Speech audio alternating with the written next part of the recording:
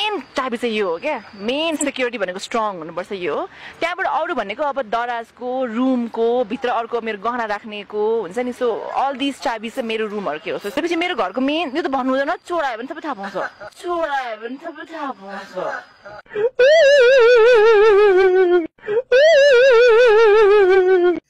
आजको भिडियोमा हामी तपाईँहरूलाई प्रियङ्का कार्कीको बारेमा केही रियल फ्याक्टको बारेमा बताउने छौँ आखिर किन नेपाली फिल्म भन्दा रियालिटी सोमा बढी व्यस्त देखिन्छन् त प्रियङ्का कार्कीलाई सम्पूर्ण जानकारी आजको यो भिडियोमा। त्यसैले यदि तपाईँहरू मेरो च्यानलमा नयाँ हुनुहुन्छ भने पक्कै पनि यो च्यानललाई सब्सक्राइब गरी साथै बेल आइकनलाई पनि अलमा प्रेस गर्न नभुल्नुहोला। सो गाइज फिल्ममा कमजोर प्रियङ्का रियालिटी सोमा व्यस्त तर दर्शक चित्त बुझाउनमा धोधो परेका छन्। आखिर किन? कुनै समयकी नम्बर वान नायिका प्रियङ्का कार्कीको हातमा अहिले फिल्मको चरम अभाव छ। उनी फिल्मको क्यामियो भूमिकामा समेत काम गर्न तयार छिन्। वैशाख पन्ध्र गतेबाट रिलिज भएको फिल्म नाइन भनुला सिक्समा उनको भूमिका एउटा गीतमा मात्र थियो। यसैले प्रियङ्काका लागि फिल्मको लिड भूमिका अब विगत जस्तै भइसकेको छ। भन्दा फरक नपर्ला। यस्तै उनै प्रियङ्काको नजरमा अहिले रियालिटी सोहरू पर्न थालेका छन्। मुन्द्रेको कमेडी क्लबमा अध्यक्ष बनेर हाँसिरहेकी प्रियङ्का यो सोमा पनि जम्न सकेकी छैनन्। दर्शकले यो सोमा प्रियङ्कालाई त्यति धेरै रुचाएको पाइँदैन। उनका लागि हिमालय टिभीबाट प्रसारण हुने रियालिटी सो हिमालयन रोडिज अझै चुनौतीपूर्ण बनिरहेको छ।